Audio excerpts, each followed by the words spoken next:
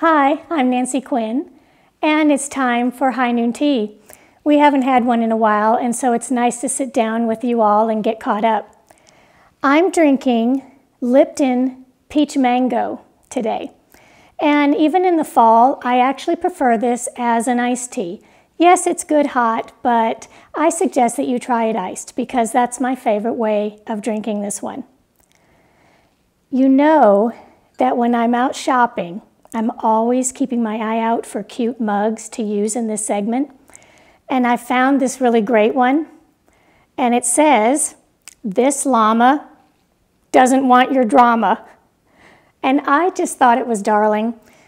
And when I'm having a day that has a little drama in it, I feel like sometimes I need to carry the mug around. And when someone starts something, just show it to them. I don't even have to say a word. I just show them the mug. Well, I did have a couple of questions about the greenhouse this week. So I thought I would go ahead and answer those. Joanne from West Virginia, she writes, I watched your greenhouse videos. Do you have a photo of the outside? I do, actually, Joanne, and here it is. Now, if you'll look at this, you'll notice that there's a little star on top of the door.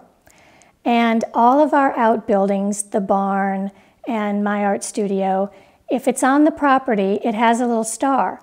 And if you noticed the video about the kids' playhouse when we donated it to a neighbor, even the playhouse had a small little star on the top. So it kind of ties all the outside buildings together, and I just thought it was kind of a nice sentiment. I also had another question from Gene. Gene lives in Florida, and he asks, do you have heat in your greenhouse? Are you able to use it through the winter? Well, Gene, we do use it through the winter for storage. We don't actually grow anything in the wintertime. We've looked at some different ideas of trying to heat it bringing out power and doing something with electricity or even small wood stoves. Nothing really seemed that feasible. So actually when it comes wintertime, we just put all of the outdoor furniture and other things in there and we use it for storage. Now, with fall coming, we had some really tough September freezes. And I was quite worried about my tomatoes. So I correspond with Dave in Maine, and I asked him about it. Is did he have any tips? Because he works a lot outdoors and with farming and, and potatoes, and he just grows everything. So he wrote, and this was his suggestion, and I want to share it with you because it worked beautifully and it was a great idea. I went out to the greenhouse before I knew this next freeze was coming, and we snipped all of the tomatoes right off the vine. And if you saw my other videos about the great tomato takeover, you know that there were hundreds of them in there. So we snipped them off the vine and took them inside and put them in this paper bag. So in a couple of weeks, they ripened. And they did such a beautiful job of ripening in this bag, which I did leave open, by the way. I just set it in the laundry room we had them for salads, and we still have them. And they didn't all ripen at the same time, which is really nice. So we could have a few and then wait for some more to ripen. And I just went into the laundry room and picked them right out of the bag. And they were fabulous. So I have to send a big thank you to Dave. And I hope that you all try this. If you ever need to bring in your tomatoes, this is a good way to ripen them inside. So thanks, thanks, Dave. That was really great of you. Thanksgiving is going to be here in just a few days, so I wanted to be sure and extend a very happy Thanksgiving. It is a uniquely American holiday, and it certainly makes me stop and think about all the things that I am grateful for.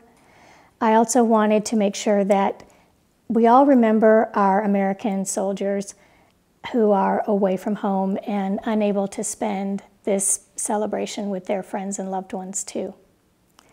You know, I have a plaque in my dining room above the door, and it reads, There is always, always, always something to be thankful for. And I really believe that. I know I have much to be grateful for in my personal life, as well as my professional life, too.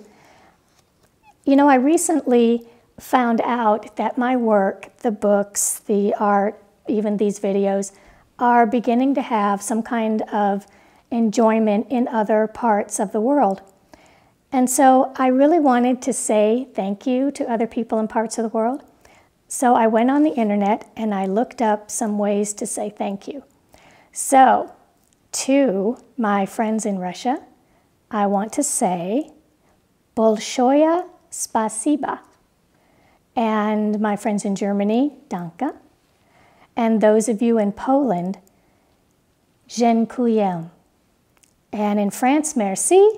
And those of you that speak Spanish, gracias. And I hope I said those correctly. so just know if I didn't, it really did come from my heart.